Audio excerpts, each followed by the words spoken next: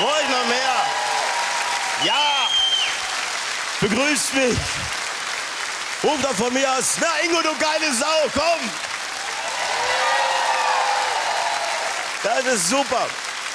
Das ist schön. Ja, so werde ich gerne begrüßt. Das ist geil. Deswegen mache ich den Job. Man wird bejubelt, man wird beklatscht. Das ist so geil. Gerade als Mann ist das herrlich. Weil zu Hause ist der Spaß doch vorbei. Seien wir da ehrlich. Wenn ich nach Hause komme, sage ich mal, oh, ich habe den ganzen Tag auf dich gewartet. Der Müll muss raus. Na, so sieht's doch aus. Ja, man will großartig begrüßt werden, aber das ist wirklich gerade da. Ne, man fragt sich mal, was ist eigentlich aus uns Männern geworden? Was waren wir Männer früher für Kerle? Ne? Früher konntest du als Mann eine Frau noch an den Haaren in die Höhle ziehen. Nicht? Heute sind sie untenrum rasiert. Ihr wisst, was ich meine. Das ist so eine Metapher.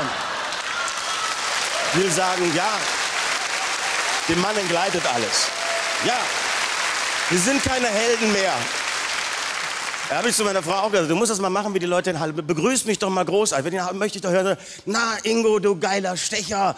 Nee, nicht, warst du in Halle, hast es allen besorgt? Nicht, ja klar, weißt du so. Sagt sie, nee, das sag ich nicht. Ich bin doch keine Nutte. Sag ich, schade. Wäre billiger. Ne? Und dann habe ich sofort auf die Fresse gekriegt und musste drei Wochen im Heizungskeller schlafen. Ne? Und, ja, aber so ist das eben. Ne? Wir werden gehauen, wir werden geschlagen, wir müssen den Müll raustragen, müssen das Klo putzen. Und das finden viele Männer ja eklig. Ne? Klo putzen? Da reicht doch, wenn ich es ausspritze, oder? Ist natürlich falsch. Man muss als Mann die Bürste in die Hand nehmen und schruppen. Ja?